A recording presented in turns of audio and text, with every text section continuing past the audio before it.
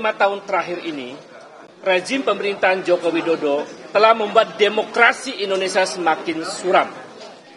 Berbagai penelitian oleh para ilmuwan telah dengan terang memiliki kesimpulan yang sama bahwa demokrasi Indonesia mengalami kemunduran. Bahkan sendi-sendi demokrasi telah dirobek. Sejumlah peristiwa empiris telah menunjukkan kebenaran kesimpulan itu melalui praktek kekuasaan yang disebut oleh sejumlah ilmuwan sebagai autocratic legalism. Di antara peristiwa empiris tersebut adalah revisi Undang-Undang KPK tahun 2019, pembuatan Omnibus Law Undang-Undang Cipta Kerja tahun 2020, putusan Mahkamah Konstitusi nomor 90 tahun 2023 yang memberikan karpet merah demi untuk putra mahkota. Sejumlah represi yang dilakukan terhadap akademisi, terhadap mahasiswa, terhadap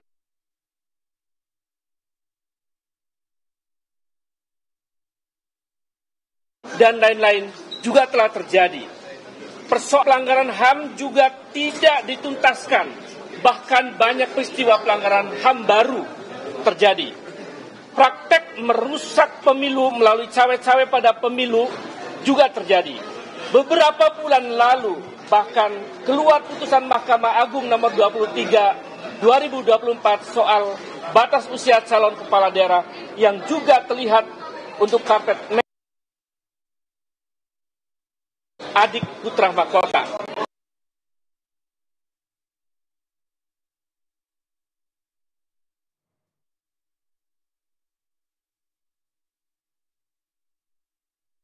Dan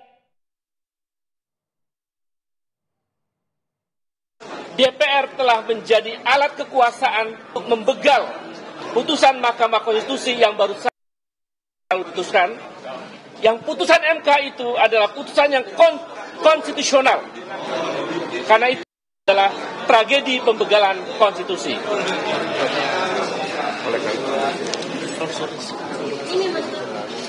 Oleh karena itu, kami, para guru besar, akademisi, aktivis pro-demokrasi, civil society, dan aktivis 98 menyatakan sikap sebagai saat terjadi pelanggaran secara sistematis terhadap konstitusi Undang-Undang Dasar 1945 oleh penguasa yang telah menjalankan kekuasaan secara otokratik legalisme dan korup.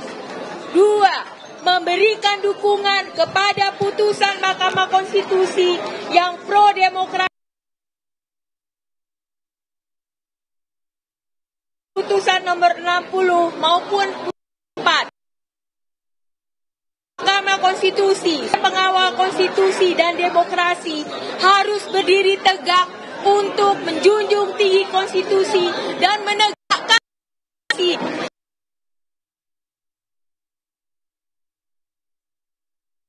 siap terus bergerak demi menyelamatkan demokrasi. Republik Indonesia. Demikian pernyataan ini kami buat demi konstitusi dan demokrasi. Jakarta 22 Agustus 2024. Terima kasih.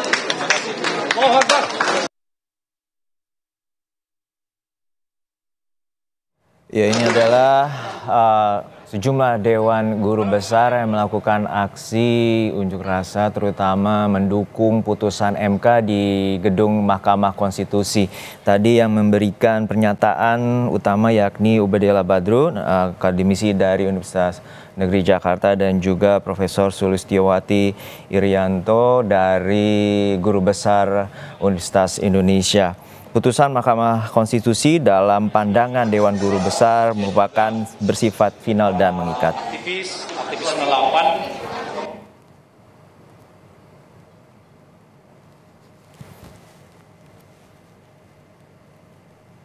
Baik, kita tampaknya mengalami gangguan teknis di, di gedung Mahkamah Konstitusi tadi. Dewan Guru Besar dari sejumlah elemen universitas di Indonesia melakukan aksi do support moral ya, dorongan bagi Mahkamah Konstitusi terkait dengan putusannya. Baik, kita dengarkan kembali.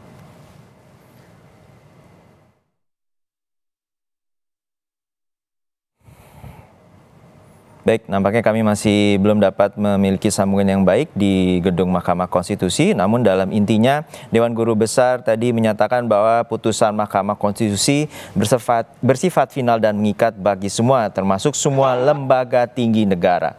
Pembahasan revisi Undang-Undang Pemilihan Kepala Daerah mengabaikan putusan MK nomor 60. Kita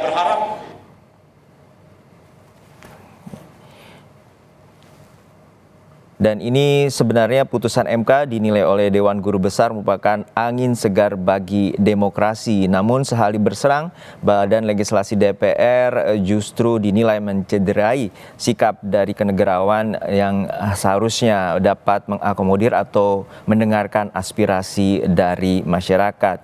Poin ketiga, tidak ada dasar filosofis, yuridis maupun sosiologis yang dapat dipertanggungjawabkan untuk mengubah persyaratan usia calon kepala daerah termasuk besaran kursi parpol melalui revisi Undang-Undang Pemilihan Kepala Daerah. Sebelumnya pada Senin lalu putusan MK menyatakan bahwa ambang batas minimal pencalonan kepala daerah sebesar 20 persen kursi DPRD, 25 persen suara sah hasil pemilu tidak berlaku. MK mengubah ambang batas pencalonan kepala daerah bagi parpol atau gabungan parpol sebesar 6,5 hingga 10 persen berdasarkan perolehan suara sah yang disesuaikan dengan jumlah penduduk dalam daftar pemilih tetap atau DPT. Ini merupakan bagian bahwa setiap unsur atau elemen dapat uh, berkontestasi. Pada dasarnya pada saat sebelum ada putusan MK, uh, eh, pemilihan kada atau pilkada uh, di Tengarai hanya ada pasangan dari